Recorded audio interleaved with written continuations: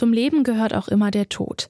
Viele, gerade ältere Menschen, verbringen ihre letzten Tage und Wochen oft auf einer Palliativstation oder im Hospiz, wo Sterbebegleiterinnen und Palliativpflegerinnen sie auf ihrem letzten Weg begleiten. Die sogenannte Biografiearbeit ist fester Bestandteil dieser Pflege. Dabei wird die Lebensgeschichte der Sterbenden aufgezeichnet. Wir fragen uns heute, was bedeutet die Biografiearbeit bei Sterbenden? Mein Name ist Laralina Götte. Hi.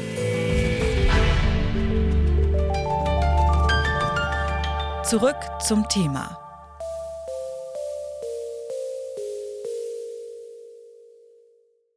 Etwas hinterlassen, sich ans eigene Leben zurückerinnern oder einfach nochmal ein langes Gespräch mit jemandem führen. Auf dem Sterbebett können diese simplen Dinge Großes bewirken. In der Palliativpflege, die sich auf die Pflege von schwer erkrankten Menschen an ihrem Lebensende richtet, gibt es deswegen die Biografiearbeit. Über Gespräche und Erzählungen wird hier die Lebensgeschichte von Sterbenden aufgezeichnet. Das kann nicht nur für die Sterbenden selbst gut sein, es ist auch ein ganz spezielles Stück Erinnerung für die Hinterbliebenen. Was bedeutet also die Biografiearbeit mit Sterbenden? Darüber habe ich mit Sabrina Görlitz gesprochen, die ist Palliativbegleiterin an zwei Hamburger Krankenhäusern. Als erstes habe ich sie gefragt, wie die Biografiearbeit denn konkret aussehen kann.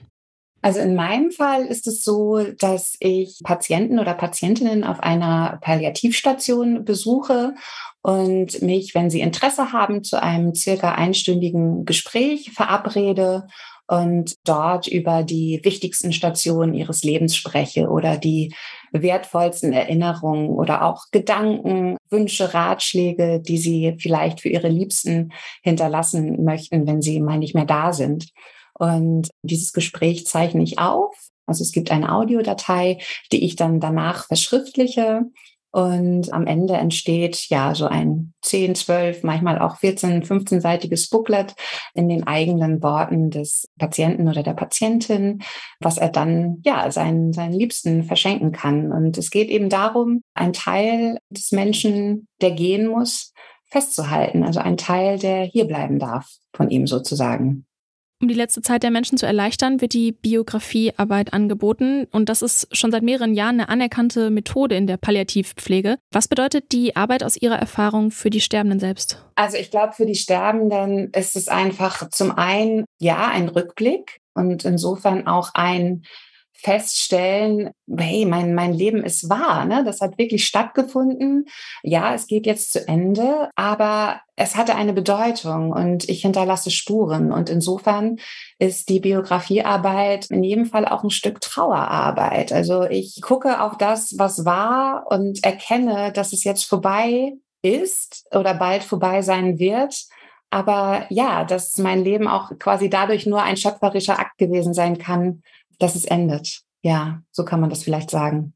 Wie ist das für die Hinterbliebenen, die die Biografien dann irgendwann erhalten? Was haben sie da erlebt? Auch da ist es ganz unterschiedlich. Also ich erinnere mich zum Beispiel an eine ältere Dame, die also voller Liebe von ihrem bereits verstorbenen Mann erzählt hat und wirklich nur auf die guten Zeiten schauen konnte und auch nur auf die guten Zeiten schauen wollte. Denn ihre Tochter erzählte mir später, dass es sie total berührt hat, dass ihre Mutter so voller Dankbarkeit und Liebe auf ihre Ehe schauen konnte, die wohl tatsächlich in Teilen auch sehr schwer und nicht einfach war. Aber dieser Blick auf das Leben vom Ende her ändert mitunter nochmal die Perspektive. Also das, was vielleicht für jemanden in einer bestimmten Phase seines Lebens sehr schwer war, ist vielleicht rückblickend betrachtet gar nicht mehr in Anführungsstrichen so erwähnenswert, beziehungsweise es wird anders drauf geschaut. Und das ist toll für die Angehörigen. Und natürlich ist es einfach total schön zu lesen, dass man auch selbst so eine große Rolle in dem Leben des anderen gespielt hat. Also, dass man selber ja, dass man auch eine gemeinsame Geschichte hat und dass man Teil da eines Lebens gewesen ist, das jetzt zwar gegangen ist, aber auch da wieder eine Bedeutung hatte für, für alle. Betrifft Ihre Arbeit denn überwiegend SeniorInnen oder haben Sie auch schon mit jüngeren Sterbenden zusammengearbeitet? Ich kann mir vorstellen, dass das nochmal was ganz, ganz anderes ist. Ja, also naturgemäß ist es natürlich glücklicherweise so, dass die meisten Menschen versterben, wenn sie älter sind. Aber auf einer Palliativstation ist es natürlich auch immer wieder so, dass jüngere Menschen dort sind. Und ich habe einen Unterschied gemerkt, vielleicht insofern bei einem Leben, das über mehrere Jahrzehnte reicht, da geht das oft um Fülle. Ne? Also, dass man sagen kann, hey, das habe ich gemacht und das ist passiert, sowohl die guten als auch die negativen Dinge. Aber mein Leben war voll. Und in einem jungen Leben, na, da fehlt natürlich vielleicht der ein oder andere Meilenstein. Und da habe ich dann festgestellt, da geht es dann oft mehr um Sinn. Also auch in diesem kurzen Leben einen Sinn zu finden, einen roten Faden, der jetzt vielleicht abreißt, aber der trotzdem ja, wichtig war. Also ich habe trotzdem eine Rolle gespielt und kann etwas hinterlassen. Also das ist sicherlich nochmal ein Unterschied und es ist auch für, für mich als jemanden, der mit jüngeren Menschen zu tun hat, natürlich auch nochmal was anderes. Ja, klar, als wenn man selber einfach auch dichter dran ist, auf jeden Fall. Wie ist das denn für Sterbende mit Demenz? Gibt es da andere Methoden? Also wichtig für meine Art der Arbeit ist schon, dass der Mensch also noch versteht, welche Art der Arbeit er da jetzt gerade durchführt. Ich habe tatsächlich noch nicht mit Demenz an demenzerkrankten Menschen gearbeitet, aber was ich mir vorstellen kann, ist diese Form der Arbeit auch vielleicht mit Angehörigen zusammen in einem früheren Stadium der Demenz durchzuführen. Ansonsten, um Ihre Frage vielleicht ein bisschen konkreter zu beantworten, ich habe aber schon mal davon gehört, dass es bestimmte Storytelling Angebote für Menschen mit Demenz gibt, wo dann zum Beispiel ein Foto hingelegt wird und die Menschen dann auch in einer Gruppe einfach darüber ja eine Geschichte entwerfen oder entspinnen.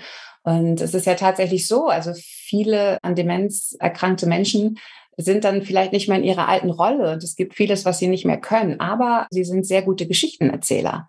Ob das denn jetzt immer alles ganz wahr ist, das ist dann, glaube ich, gar nicht so wichtig. Aber in dieser Rolle kann man sie stärken. Und da gibt es auch Methoden, aber das ist etwas anderes. Also es weicht von meiner Art der Arbeit etwas ab.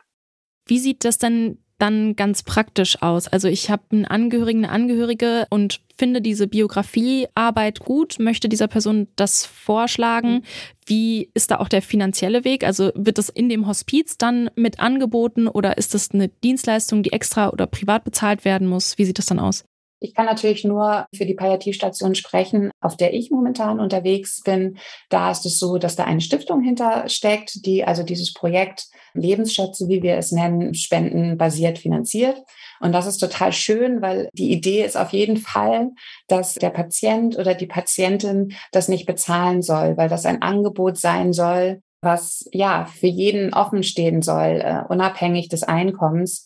Und natürlich ist es auch so, also mit dieser Arbeit werde ich nicht reich, aber also nur in Anführungsstrichen reich im Herzen.